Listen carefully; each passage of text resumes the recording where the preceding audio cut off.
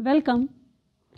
In this video, I will be sharing with you my experience of teaching one of the very important topic of chemistry and that is types of chemical reactions. This topic is typically taught to the students of class 9th and 10th. In this lesson, I try to show few reactions using the materials which is readily available at our home or in our kitchen. So, it is very important that students should understand the processes which are taking place around us are due to some or other chemical reactions. We tried to use most of the chemicals which are easily available around us and it was very nice to see that students were actively participating in the class. With these activities, students will be able to learn the different types of chemical reactions, then how to classify chemical reactions according to their types and how to apply this knowledge of types of chemical reaction in their day-to-day -day life. Before we proceed with types of chemical reaction, I thought that I should revise some basic concepts in chemistry like what are chemical reactions, what is physical change, chemical change, what are reactants, products and how to write a chemical reaction or balanced chemical reaction. I began by introducing two reactions. I asked students to observe the reactions very carefully and note down the observations. Then I pointed out to them that the differences between the chemical reactions is because of the intrinsic property of the compounds and the structure of compounds. I tried to compare the nature of chemicals with the human nature. Like how we humans, we like someone, we don't like someone. In the similar way, these chemicals also, they have likes and dislikes. And to give few more examples of these chemical reactions, I try to give them few examples in our day-to-day -day life. Like for example, silver turns black, but gold doesn't when kept in open. Why mangoes ripen quickly when wrapped in newspaper? And this is how students will be able to understand the nature of reactivity. After this, I took up my topic types of chemical reactions and demonstrated or conducted few activities in front of students to give them practical experience. For that, I divided my class into groups. As you will take up these activities, you will come to know that students are actually understanding the subject very well because the activities are actually happening in front of their eyes. My first activity was based on combination reaction. Materials required for this activity are starch, iodine, earbuds, spray bottle, paper. In order to show a combination reaction, we first made a paste of starch. I had written a message using this paste on a piece of paper. When this paper was spread with iodine, students could see the letters almost magically appear. You can ask students, how did this magic happen? And to explain the logic behind this magic and the detailed combination reaction, I took help of building blocks A and B. When I combine this A and B, it forms AB. It means it's a combination reaction. And if you don't have building blocks, no problem. You can use beads or matchboxes. Another activity you can try is that is of burning of magnesium. You just require a magnesium ribbon, burner and a dish. Take a magnesium ribbon and hold it on a burning flame. Ask students to observe the residue. Put this in a dish and pour some water on it.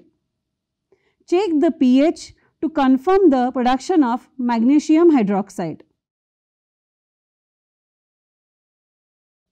The main aim of both these activities is to let students to understand combination reaction in detail. You can also discuss daily life examples like carbonic acid in soft drinks, or calcium oxide reaction with water. After the combination reaction, I went on to explain decomposition reaction and for that I took an activity of elephant toothpaste. My student get amused. Why it is called as elephant toothpaste?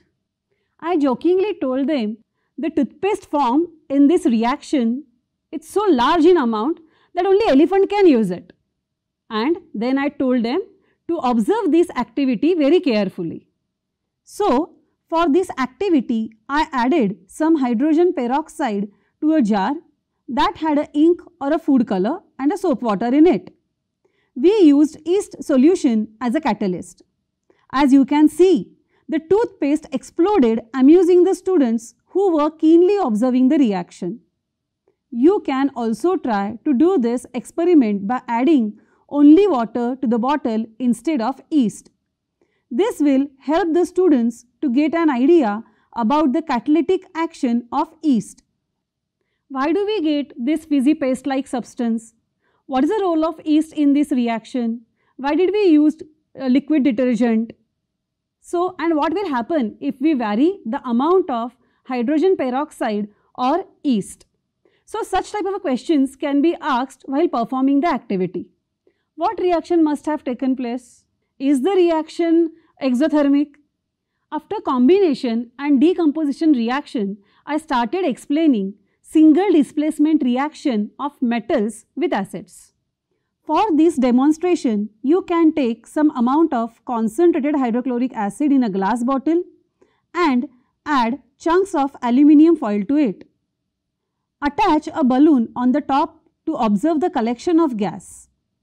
Ask your students to observe the reaction.